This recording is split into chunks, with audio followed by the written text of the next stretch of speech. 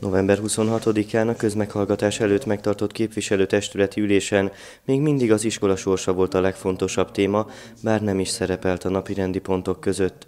A falu korábban már eldöntötte, nem ad be nyilatkozatot iskolája fenntartásáról, így az intézmény automatikusan állami működtetésbe kerül január 1-től. Nekünk arról van lehetőségünk nyilatkozni, hogy képesek vagyunk fenntartani az iskolát, és sajnos se a központi költségvetés, irányából se saját bevételeink tekintetében nem tudunk még többet, hogy mire számíthatunk a következő naptári évben.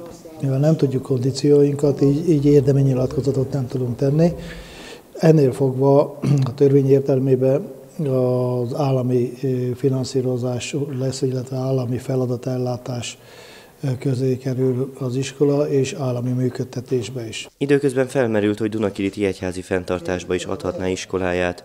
A témában tájékoztató jelleggel fórumot tartottak november 23-án, amelyen megjelent Farkas István Moson Magyaróvári piarista igazgató is.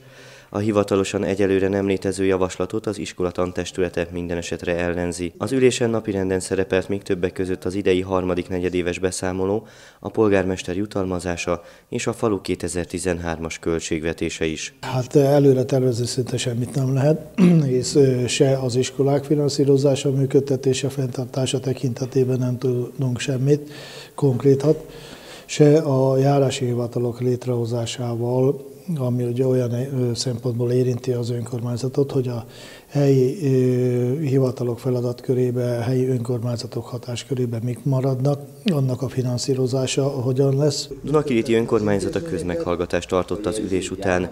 Itt az iskola sorsán kívül egy vitatott szabályozású lőtér kérdése váltotta ki a legnagyobb érdeklődést. Bár a falu rendezési terve tiltja a létesítményt, más engedélyeket viszont megkapott, így az önkormányzat egyelőre nem sokat tehet. Elmondták továbbá, a Magyar Vöröskereszt 2012-ben a falu teljesítményének elismeréseként Dunakiritinek adományozta az év támogatója címet. A kitüntetést a Vöröskereszt országos kongresszusán adták át.